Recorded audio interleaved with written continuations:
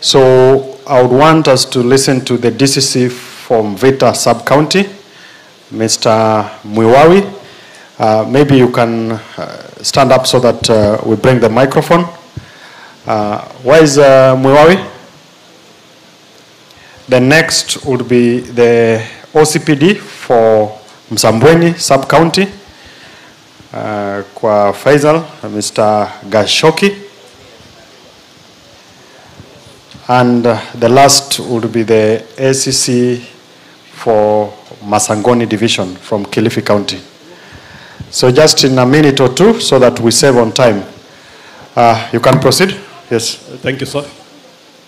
Uh, His Excellency, the Deputy President for the Republic of Kenya, Honorable Rigathi Gachagua, and uh, following the laid protocol, I'm Ronald Muiwawi, the Deputy County Commissioner for Mombasa, or what we know as Mvita. Uh, ningependa kusema hivi, Mvita tumefanya kazi na lengo kabisa na shabaha ni kuregesha hadhi ya Mombasa vile imekuwa zamani.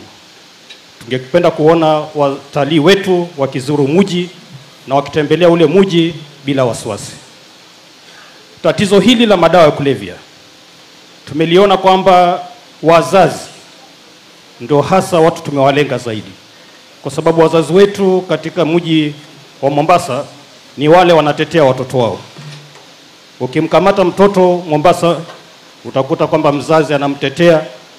Mzazi atashindwa kulipa karo ya shule, lakini kulipa faini ya kotini ama kutoa cash bail anaona ni rahisi. So kile ambacho tumefanya sisi kama kamati ya usalama, tumeamua kuwalenga wale watoto wakiwa shuleni, kwa sababu tunataka kupunguza ile demand.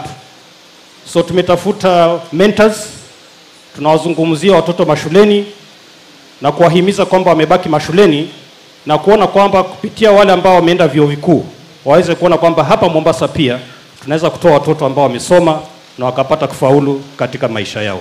So tunatumia hiyo mentorship program na tunaona kwamba inaendelea kutusaidia. Na mwisho tu ningependa kusema sasa ni kwamba ukiingia Mombasa utaambiwa kwamba usijaribu, utauawa.